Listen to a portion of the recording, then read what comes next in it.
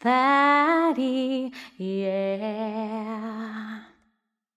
One happy birthday dot com.